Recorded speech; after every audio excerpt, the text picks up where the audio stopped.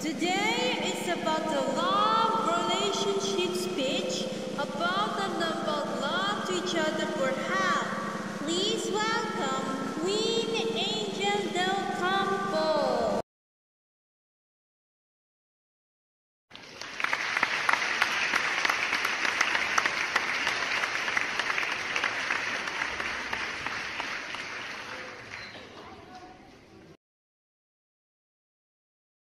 My love relationship speech. Love is awful. It's painful. It's painful. It's frightening. It makes you doubt yourself, judge yourself, distance yourself from the other people in your life.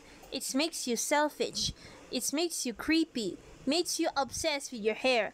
Makes you cruel. Makes you say and do things you never thought you would do. It's all any of us wants it's hell when we get there. So no wonder it's something we don't do. We're born with love than life. And about choosing the right.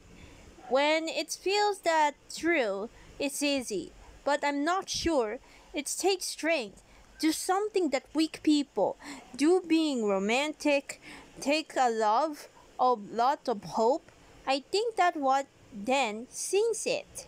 When you find somebody that you love, it feels like hope.